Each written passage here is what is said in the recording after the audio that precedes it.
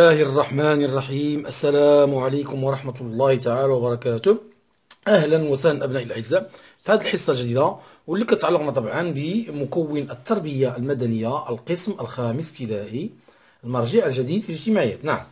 الدرس التاسع حقي في عدم التعرض لاعتداء ودوري في حماية نفسه. الهدف أتعرف كيفية التصرف في حالة إحساسي بخطر اعتداء. نعم. جميل جدا هذا الدرس. أتعرف كيفية التصرف في حالة إحساسي بخطر اعتداء. أمهد لتعلمي من حقوق كطفل أن أتمتع بحماية كاملة من أي اعتداء يمس سلامتي البدنية والنفسية وأن أتعلم كيف أكون أن أكون حذرا تجاه أي خطر قد يهددني. إذا ما مكون ذاتي كيف أتصرف لحماية نفسي؟ ما صفات الوضعية الخطيرة؟ مثال حالة اعتداء جنسي. نعم. إذا آه، نبدأ على بركة الله النشاط الأول. النشاط الأول يقول لنا أعي مكونات ذاتي جسمي أحاسيسي أفكاري إذا مكونات الذات ديالنا هي الجسم والأحاسيس والأفكار. استمعوا إلى ريم ماذا قالت؟ هذه طبعا أنا. فكرت أن أقدم لكم نفسي التي رسمتها كما ترون. جسدي بوجهي شعري أطرافي ملابسي ملونة بالأخضر أضفت شيئا شيئين مهمين لا تستطيعون رؤيتهما إنهما أحاسيسي وأفكاري. أحاسيسي وأفكاري.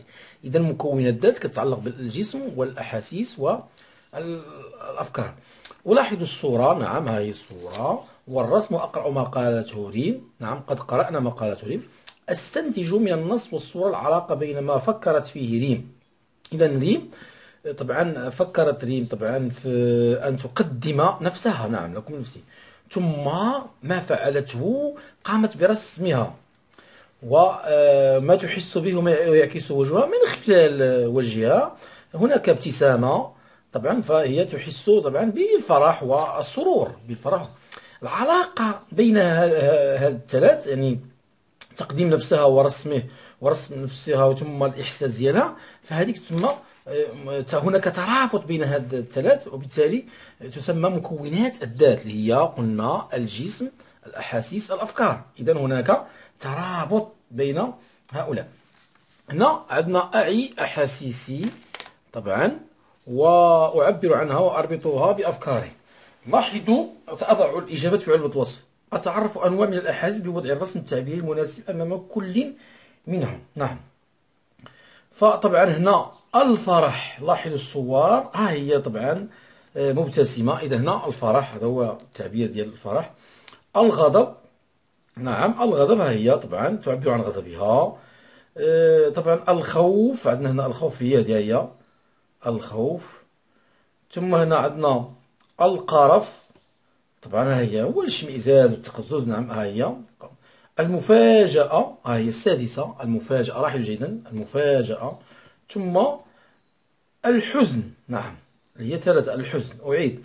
الفرح هي الرابعة الغضب الأولى. الخوف خمسة. القرف قلنا اثنان. المفاجأة هي الصوت تعبر والحزن طبعا هي ثلاثة. إذا هنا أحاكي أنا وأصدقائي هذه التعابير. أختار إحساسا. نعم. شعرت به. مثلا آه، كان المهم شاركت في مسابقة تحدي قرائي حيث تأهلت آه، في مدرستنا قمنا بمسابقة وكنت فائزا حيث تأهلت إلى آه، مشاركة في التحدي القرائي فكانت أحسست بفرح بسرور وفرحة لا مثيل لها. صورة سأضع لكم الصورة ابتسامة فابتسامة طبعا عندنا مثلا ممكن فهذه كتعبر لنا. على آه طبعا الابتسامة. ياك؟ مثلا بحال هكا عندنا هنا هذه تعبر عن الابتسامة أو طبعا آه، صور عديدة للتعبير عن الفرحة والسرور. هنا دابا ننتقلوا للثاني. نعم. الثاني هو هذا. طبعا نعم. اش يقول لنا هنا؟ نقد الصورة. أربط أن بين أحاسيسي وأفكاري وأفعالي أقرأ المثال الآتي وأقترح مثالا يوظف فيه إحساسا مخالف. نعم. سررت عندما علمت إبان جائحة كوفيد 19 أنني سأتابع دراستي بالتعلم عن بعد. هائل! ما فكرت فيه؟ هائل! سأتعلم سأكتسب تجربة جديدة. ما فعلت؟ وضعت برنامجا مناسبا. الآن عندنا مثال يعني مخالف له.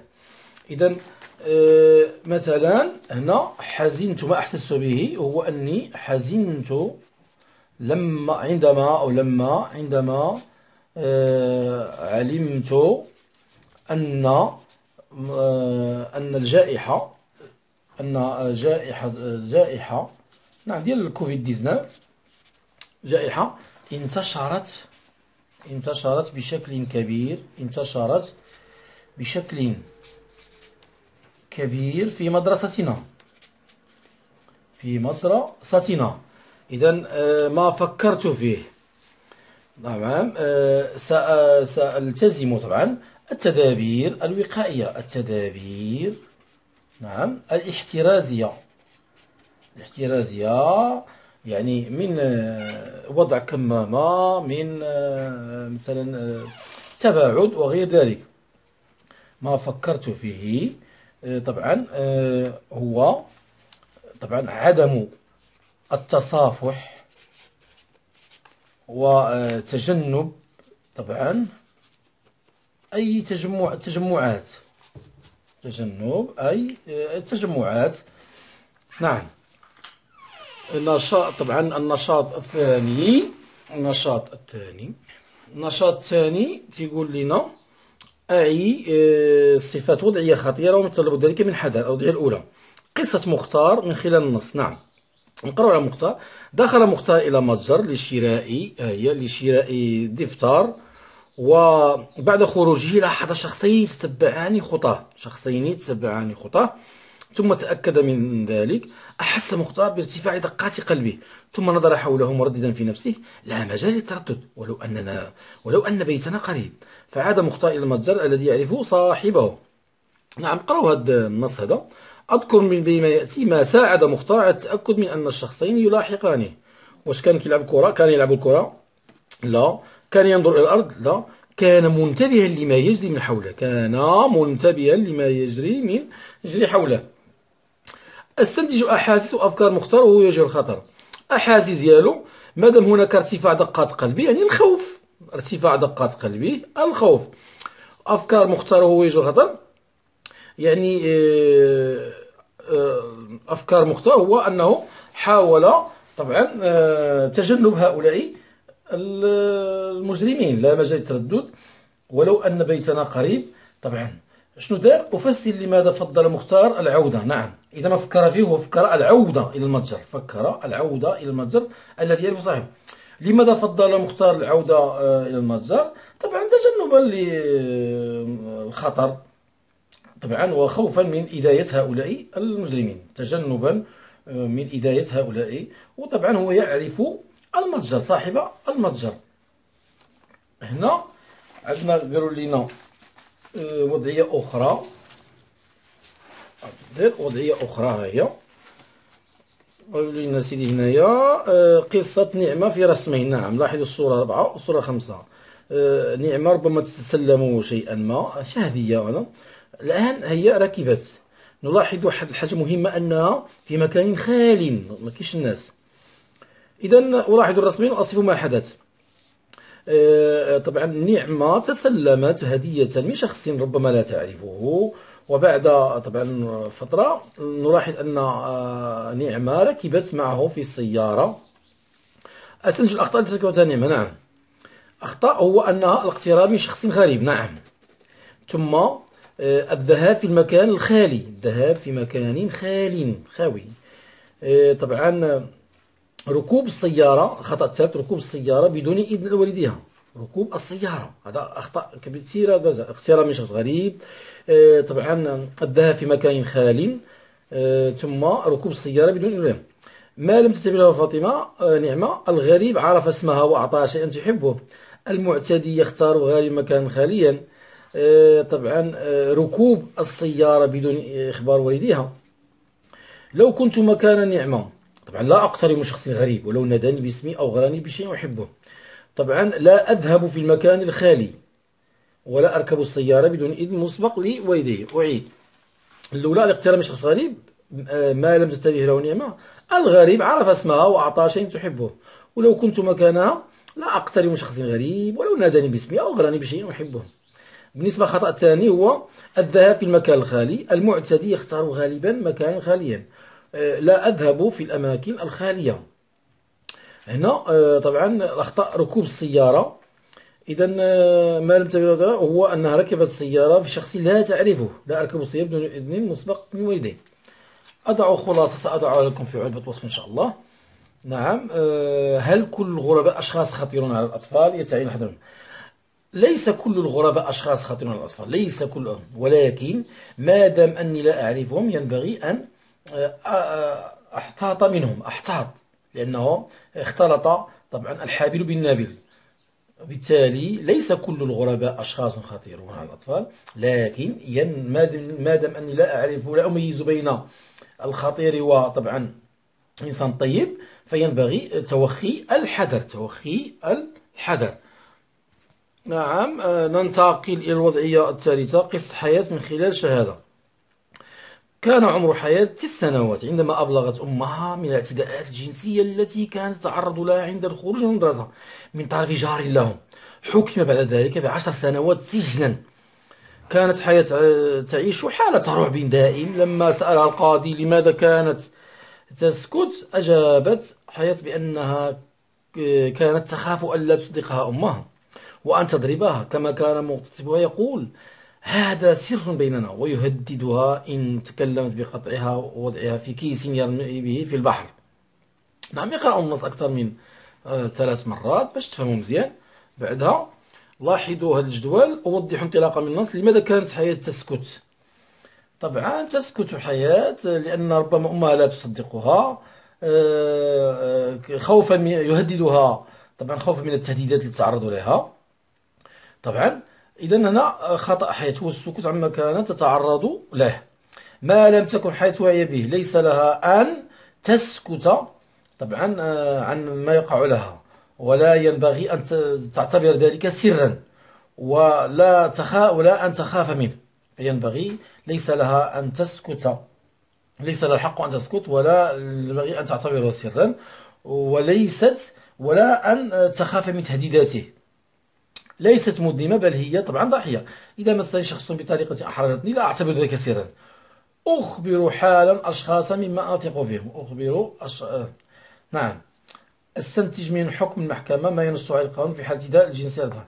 إذا في حالة الاعتداء آه، الجنسي على الأطفال هناك عشر سنوات سجنا. عشر سنوات طبعا سجنا. أقرأ هذه النصائح وأنا أستحضر قصة حياة. نعم اقرأوها زارت خبيرة تلاميذ وتلميذات مدرسة في إطار التحسيس بالاعتداء الجنسي على الأطفال وهذه أهم نصائح عادل إذا طلب منكم أحد أن ترافقوه لأي سبب كان اطرحوا على أنفسكم الأسئلة هل أرغب في ذلك؟ واش أنا هل أرغب في ذلك؟ هل يعرف والدي أين أنا إذا قبلت؟ هل يمكن أن يساعدني أحد إذا حسيت بخطر؟ نعم هذه بحال شروط أولا الرغبة ثم معرفة والدي إلى أين أنا إذا قبلت أين أنا وطبعا هل هناك توجد مساعدة؟ إذا حسوا بخطر. إذا كان جاوب بلا على سؤال واحد إما عدم الرغبة أو الوالدين آه، عدم معرفة الوالدين أين أنا أو عدم وجود مساعدة في الخطأ فلا تفعلوا. جسمكم ملك لكم. لا حق لأحد أن ينظر أو يلمس الجهات التي تغطيها ملابسكم الداخلية. عندما تشعر تشعرون بانزعاج من لمس أجسادكم قولوا لها بقوة وأخبروا حالا والديكم أو راشدين ممن تثقون بهم ولا تهتموا بأي كلام تهديد اعتبار ذلك سر وغير ذلك. أتقمص حالة عبلة وأكتب فأربط فيها بين ما أحسست به وما فكرت فيه وما فعلت. طبعا آه، عبلة آه، لا أريد أن تلمسني ولا أريد أن تقترب مني. نعم. آه، فطبعا عبلة تصرخ. تصرخ وتقول بصوت مرتفع أنقذوني إنه مجرم. فطبعا يقبل الناس ويقومون بمساعدتها. إذا النصيحة الأولى ما فهمت منها هو أن إذا كاين شروط ثلاثة ينبغي أن تتحقق كاملة. أولا هل أرغب في ذلك؟ وفعلا إذا رغبت في ذلك خاصني أمر للشرط الثاني. هل والدي يعرفون أين أنا؟ إذا إذا تحقق الشرطين أتأكد من أنه يمكن أن يساعد أحد يحسس بخطر. إذا لابد من هذه الشروط الثلاثة طبعا فهي نصيحة مهمة بزاف. آه، أكتب في دفتري بأسلوبي الخاص النصائح الثلاثة أتقاسمها مع أقراني. إذا النصيحة الأولى طبعا يعني شروط طبعا قبول مرافقة مرافقة أي شخص. إذا الشروط ثلاثة. ثم نعم مهمة دي بزاف أن جسمنا ملك لنا لا حق لا حق لا حق لأحد أن ينظر أو يلمس الجهات التي تغطي من اللبس الداخلي إذا النصيحة الثانية جسمنا ملك لنا لا أحد لا يحق لأحد أن ينظر أو يلمسه عندما تشعرون بانزعاج طبعا ثم الثالثة الصراخ الصراخ في وجه المجرم المعتدي. نعم أه هنا سيدة من هذه الفقرة هذه. النشاط الثالث اقترح على اقراني سلوكات لحمايه انفسهم من الاعتداء. نعم هذه حلول لتفادي طبعا الاعتداءات. محيطي آمن لكن هذا لا يمنع من توخي الحذر من بعض الأشخاص الذين يعتدون على الأطفال. أتعلم أربعة قواعد ينصح بها خبراء وخبيرات ممن درسوا الاعتداءات على الأطفال. هذه مهمة يحمي القانون المغربي الأطفال من كل كافة أشكال سوء المعاملة وجد عدة مؤسسات حكومية وجمعيات فاعلة في هذا المجال. طبعا كاين مجموعة من طبعا مؤسسات حكومية وجمعوية فاعلة تحمي الأطفال من كافة أشكال العنف وسوء المعاملة أعرف كيف يتصرف المعتدي نعم. يختار فريق سهلة يعني يكون خجولة يحرص على عزلها المهم الانفراد بها عزلها لتكون وحيدة يعتدي بالقول الشتم أو الفعل ويهرب. أتفادى الاستهداف؟ نعم أتفادى الاستهداف. هنا أنتبه دائما لما يجري في المحيط دائما أكون حذرا أثق في نفسي. نعم هذه مهمة بزاف الثقة في النفس. لا أرتبك لا أظهر أي ارتباك. أتحكم في محيطي لا ارتباك. أترك مسافة أمان مع المعتدي أكثر من مترين. نعم. أبتعد وأنا أقصد مكانا آمنا. الهروب بدون قصد يحدث ارتباك. هذه احذروا منها. إذا الهروب إلى مكان تعرفه بدون قصد يحدث ارتباك والتعثر. أبحث عن المساعدة أين إن الأماكن الآمنة راشدون مسؤولون أثق فيهم ثم الصراخ. صوتنا نصف صوتنا نصف قدراتنا الدفاعية ساعدوني. أذكر التحذيرات التي أسمع من والدي لحماية نفسي من الأخطار وأضيف إلى القواعد التي تعرفت عليها. إذا هالقواعد هما هادو اللي تعرفت عليها. والنصائح ديال الوالدين مثلا فعدم مرافقة أشخاص لا تعرفهم. آه، الابتعاد من الذهاب في الأماكن طبعا المليئة بالناس والغير فارغة. طبعا. أقترح على أقراني في الحي والدوار مجموعة القواعد والسلوكات تعلمتها وسجلها في نعم. إذا القواعد والسلوكات التي طبعا تعلمتها من بين القواعد الأساسية هو عندما أشعر بخطر الصراخ. عندما أشعر بأن أحد يهاجمني الصراخ لأن الصوت ديالنا نصف قدرة الدفاعية ثم تجنب الأماكن الفارغة عدم الركوب مع أي شخص عدم تسلم أي آه، هدية. آه، عدم قبول الركوب مع أي شخص أو مرافقة أي شخص. طبعا